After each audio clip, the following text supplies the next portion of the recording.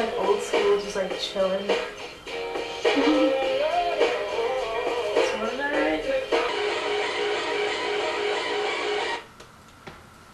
they say she needs to slow down. Both legs out.